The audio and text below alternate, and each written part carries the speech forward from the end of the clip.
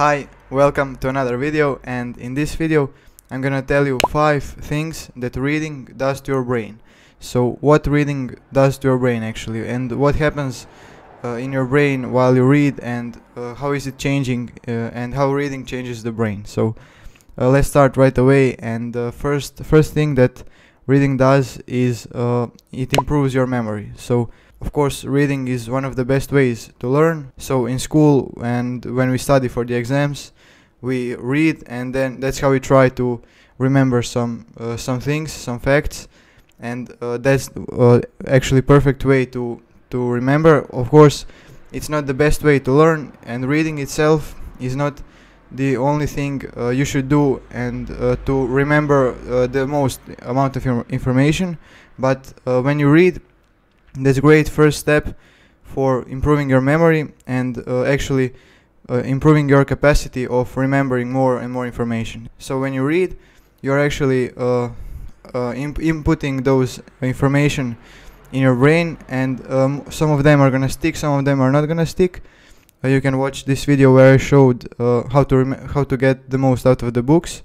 There, there I show some some good principles but uh, for this exact uh, situation like when you read uh, you as the more you read the more you will like remember more information. So when you practice reading often then you will uh, start remembering more and more information and you'll find yourself one day that after reading for 10 minutes you literally can re uh, remember everything you have read in that in the last 10 15 minutes because you're uh, practicing that a lot and you're really like soaking in a lot of those information and so that's the, the reason uh, why reading improves your memory. Second thing that reading does to you and to your brain is uh, it relieves stress. So when you read you need to focus and you need to like uh, be present in this very moment and that's actually what uh, what is the best way to uh, get rid of stress. So the most popular like tip for getting rid of stress is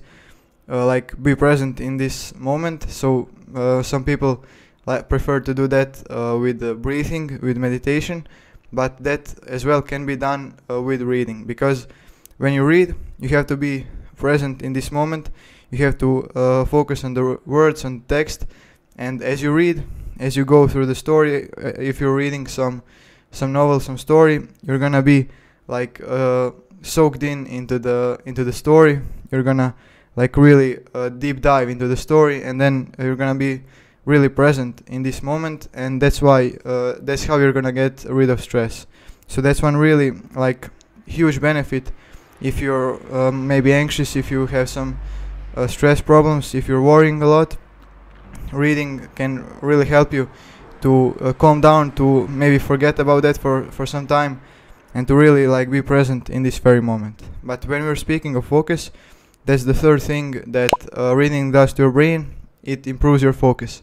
So when you read, you actually have to be really focused on reading. So you can't read and think about maybe uh, planning the trip or think about your work or maybe doing something or cooking or something like that. You really have to be focused on reading and only on reading. So reading improves your focus because you really have to put all your attention into that text, into that book, and as you read, you only have to think about what you're reading about, and as you read more and more, you're gonna find yourself that you need uh, less and less time to focus and to really uh, get into that deep work state, uh, because the more you read, the more you're gonna like practice that, and uh, faster you're gonna get into that uh, fully focused state. So because uh, that that's gonna help you. Like when you're working uh, you need some time to get into the workflow and into the deep work state. And if you practice reading the similar thing is happening there because uh, you need some time to get into that reading flow. But the more you read the more uh, you're gonna be quicker into that in, into uh, you're gonna be quicker in falling into that flow reading flow state. And that's how you're actually improving your focus and because you practice reading uh, you you're forcing yourself to focus and that's how your focus is actually being improved so uh, reading is one really great way to, to improve your improve your focus and to actually be more present in this very moment. Fourth thing that uh, reading does to your brain is uh, improves empathy and actually teaches you how to think and relate. So uh, because when you read, especially when you read uh, some like story or biography, maybe novel, uh, you actually have to, you really uh, can relate to that person. You, it teaches you to to get into those that per person's shoes and to see uh, things from their point of view and then you really understand and you can relate to them uh, and you understand how what they have been through and uh, you understand what problems they uh, the person had and uh, it actually makes you think it forces you to think and it, it actually teaches you to think uh, with your head with your own brain and that you think not only about yourself and with your about your own problems but to actually understand other people when you're uh, later talking to someone to really be uh, empathetic and to understand uh, what's going on on the other side of the, of the coin.